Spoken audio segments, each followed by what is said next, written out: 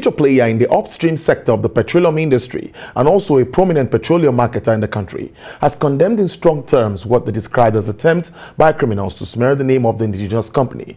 AA Rano Nigeria Limited says the suspected, suspects arrested by the Nigerian Navy in Delta State for involvement in illegal or bunkering are criminals and not in any way connected or associated with the organization. The director in the oil firm, Mr. Sule, uh, Sule, thanked the Nigerian Navy for their due diligence and arrest of the illegal bunkers. He says this will be a deterrent to other economic saboteurs and will protect the interests of other legitimate businesses in the oil and gas sector.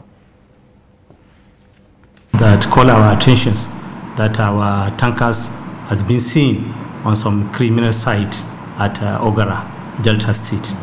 We are definitely we were surprised, so immediately we mount a search and uh, try to get who are involved. So on that process, we discover that the tank found there is not belongs to Rano, and such a way, even the people there apprehended by the Nigerian Navy, they are not staff of Rano. No, a driver and the motorboat, they are not staff of Rano. We, we, we have a tracker that checks where about our drivers, wherever they are, immediately we can Google and see where our drivers are.